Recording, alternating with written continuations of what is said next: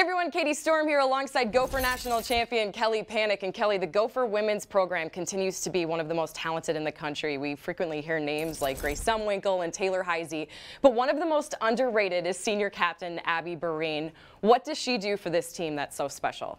She does it all. She does the, the dirty work sometimes when it needs to get done. She'll score the big goal. She'll be right there putting her body on the line, making sure that, you know, whatever her team needs, she's there to do. Let's learn a little bit more about Abby Boreen, a five-time letter winner for Hill Murray High School. She made it to five straight Minnesota State Class AA tournaments with the Pioneers. She has nine goals in her senior season this year in 15 games. That's the seventh best goals per game rate in the entire conference. A big ability she has is just to create offense. Let's take a look at some of those plays. Yep, and we'll start here right off the bat. Um, so here she is on the wall. Um, she recognizes that her line mate needs a little bit of help. And what you'll see as this clip progresses is she's going to take a look over her shoulder. And oftentimes, you know, when you get along the wall, it's hard to get off the wall. It's hard to find that space.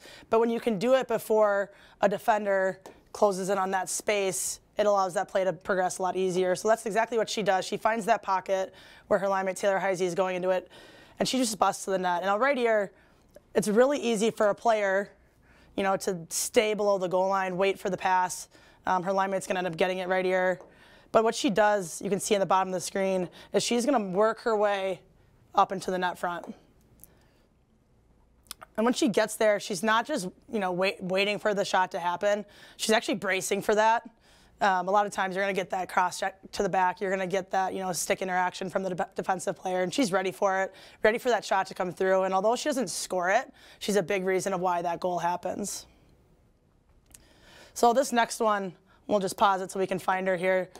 She's playing wing on this shift, and you'll kind of see a progression happen twice where she's mirroring this puck. This isn't her responsibility. Her responsibility is this higher player in the zone, and she's aware of that. She's not chasing out wide. She's just going to mirror this puck. She's going to communicate with her teammates right here to pass off. Who do they have? And then she recovers to the net in case anything goes there. Now, the same exact play happens. This time, she's reading. You can see her eyes. She's reading that this player wants to make that pass. And what you'll see is just a really smart, active stick. And then she's got the legs to work towards the net.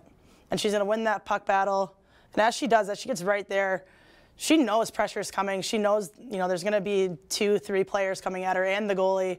It's really easy for players to instead take this puck around the net. But what she does is she takes it right to that blue paint. Ends up ending going off the post and off defender's back. But she's willing to get to that blue area, make the strong play, and uh, take it to the net for a goal.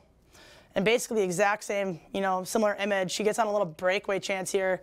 She's just willing to go through the goalie essentially to, to make a goal happen. She feels a little shaken up, but it's always a little easier getting up off the ice after you score a goal.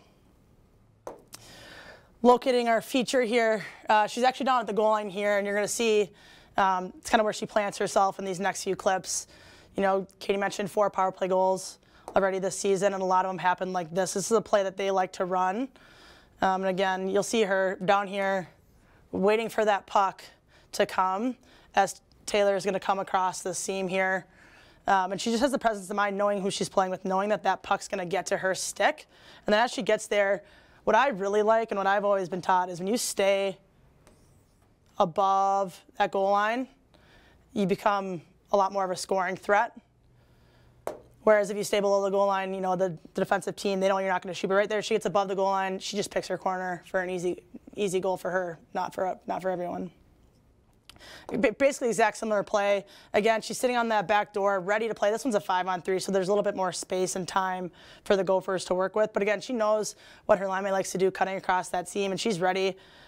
And right here, when she gets this puck, it's a fired pass across the seam, right through that seam. Really nice pass she's not just going to whack at it, hope it goes in. She's going to actually take her time, again, pick her corner with another nice upper corner goal. It's just a little bit of, you know, her understanding where she should be and how to put the puck in the net.